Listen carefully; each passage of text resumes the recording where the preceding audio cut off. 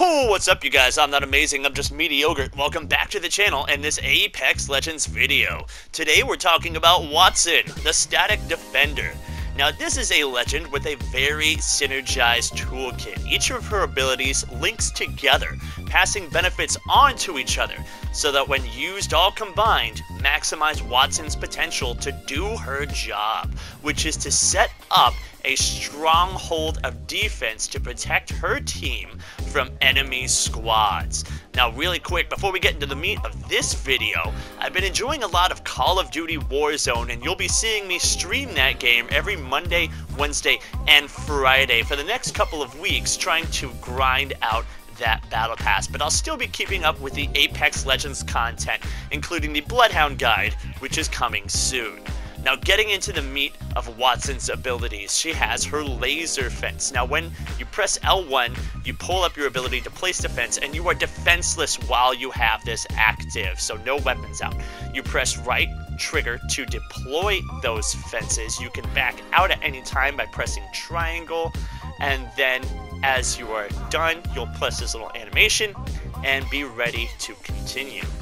There's also a heads up display telling you more info on the fences. The four blue bars around the lightning bolt represent the four fences you can carry at a time. When you use one, the bar goes blank, but you'll see a small white bar filling up, letting you know when the next fence will be charged. The diamonds around that bar represent the amount of fences you can have. When you place a fence down, a diamond will fill with blue, and the empty diamonds represent how many more fences you can place, up to 12 at a time. When someone crosses your fence, you'll see this icon pop up on your screen. It's a little white men passing through the four fence lasers, and then you'll also see it marked on your map with this little bright blue circle pinging the location at which they crossed your fence. Now, if you place a fence on accident, you can pick up that fence and then have that back in your inventory and place it in a different location you can also extend these fences a very far distance, and as long as you haven't closed off the fence, you can extend from the end of it, and then link the fences together to create a full circuit. Now, the most obvious way to use these fences is to hold yourself up inside a building and use them as a deterrent. You don't exactly expect enemies to cross the fences, getting stunned or damaged, but it does help prevent them from getting to where you are, and gives you a safe space to heal up and reload your weapons. You want to make sure you place them intelligently with the bases out of line of sight of the enemy. Notice how wide I've put these fences away from the doorway. And setting up your defenses in this fashion can really help you turn the tide in a previously unwinnable situation. You also want to get really good at getting in and out of this tactical quickly. Because like I said before, you're defenseless while you have the fences out. But they can make a big difference in a fight. The enemy can get stunned, and that also does 10 damage, and that makes a huge difference in a 1v1 situation. The stun slows them down and blurs their vision, and they're already even a little bit damaged, and now that gives you the upper hand. You can also use them on the way out of an area, moving from place to place across the map. If you come across a choke point, you can just lay out a series of fences to make a hard time for any enemies that are coming up behind you. These are more easily destructible with fence bases out in the open, but it can still slow them down and help get them caught up in the ring. I personally like to use them in an offensive way. If I know somebody's inside a building, I will place fences and cut off their exits. Especially if I know there's only three, I will cut off two, making sure the enemy only has one way out, and that way is right into the barrel of my R301.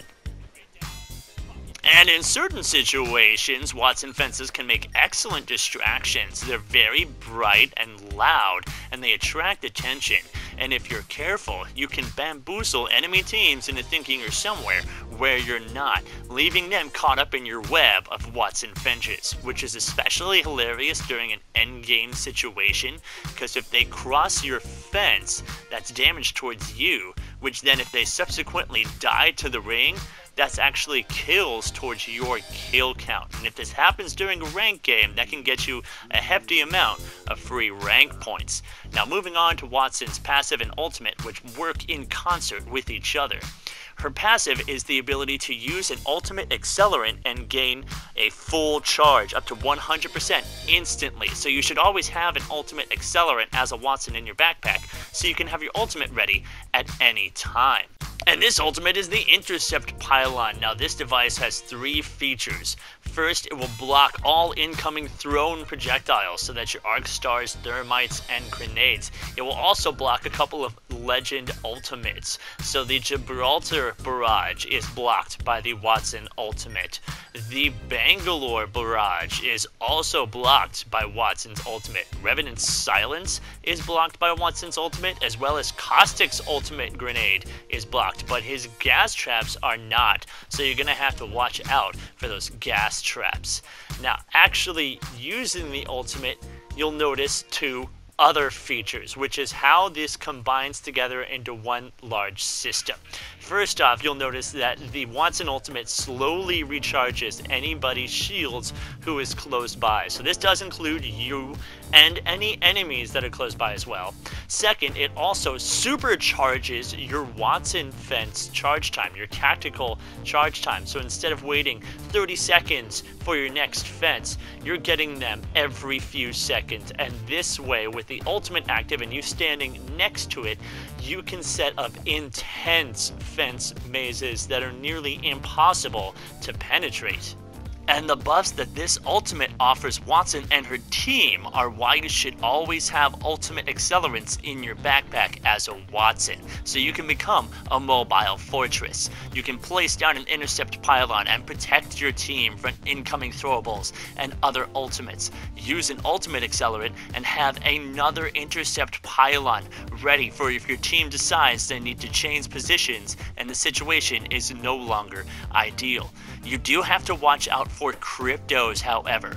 A crypto EMP will destroy all of your fences. However, it doesn't actually affect the ultimate. So if you put your ultimate down, feel free to fence back up after that drone has gone off, and it even feels your shield back up totally for free. No shield cells required. Then, if you even have another ultimate, you can keep going and just keep moving all the way across the battlefield, setting up fortress after fortress after fortress, and preventing enemies from getting to you. And this way, you can even win entire games without having killed someone the entire game. And this works even better if you're uncontested. If you have the high ground and the circle is closing on you, feel free to set up fences all across that high ground on the edge of the cliffs to make sure nobody can climb up to get you.